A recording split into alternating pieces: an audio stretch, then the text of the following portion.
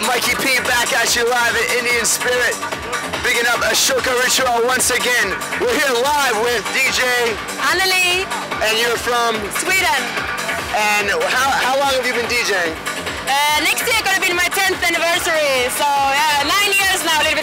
And are you signed to any labels? Yes, I work for Fantas, one of the nicest labels in the world, I think. They've been doing, releasing Cyclone since 93, so they really do know what they're doing, so. Are you enjoying yourself here at this festival?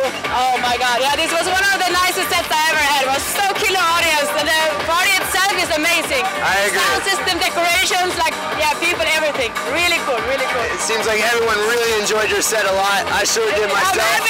Happy they did because I was pretty nervous before, I must tell you. So yeah, it was nice. Trust me, you did a wonderful job. I'm sure everyone will agree.